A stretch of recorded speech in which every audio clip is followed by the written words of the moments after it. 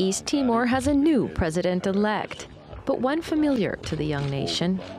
I have received uh, this mandate from our people, from the nation, in an overwhelming demonstration of our people's commitment to democracy.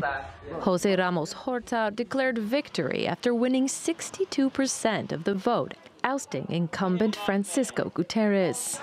I will do what I always have done throughout my life, as I did in 2007, 2012 when I was president. I will always pursue dialogue, patiently, relentlessly, to find common ground, to find solutions to the challenges this country faces. And the challenges are many.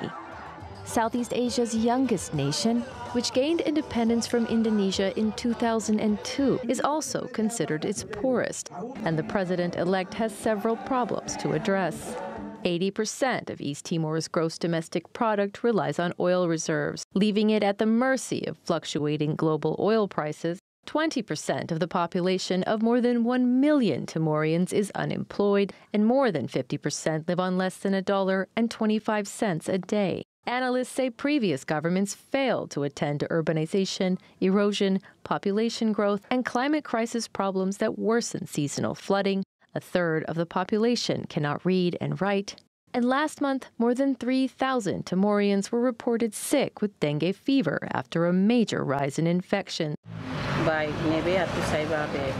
Anyone who will become president has to care about the people because the people have many complaints. The winner has to pay attention, especially to the education and health sectors, because these are the most important ones for us. The 72 year old will be sworn in on May 20th, East Timor's Independence Day, but he'll have to get to work quickly to try to lift the country out of poverty. Sarah Balter, TRT World.